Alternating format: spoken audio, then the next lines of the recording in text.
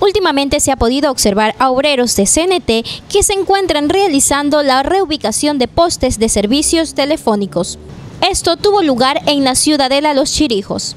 Tras cámaras, los obreros supieron manifestar que esto se realiza ya que hasta la presente varios postes de servicio se encuentran copados, bajando así la eficiencia de los trabajos que brindan. En los posteriores días se realizará la colocación del cableado en los postes antes mencionados, informó para Telemilagro Ana Karen Acosta.